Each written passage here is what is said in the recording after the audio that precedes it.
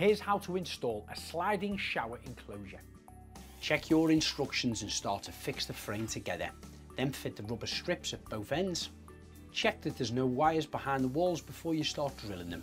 Fix the rails to each side and then start to put the frame in place.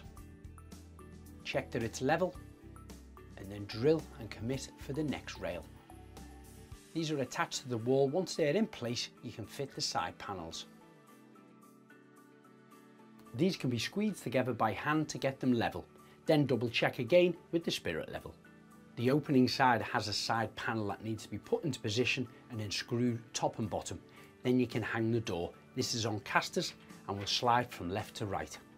Once you're happy that that's moving okay, you can then apply the handle. Seal around the outside with a clear silicone.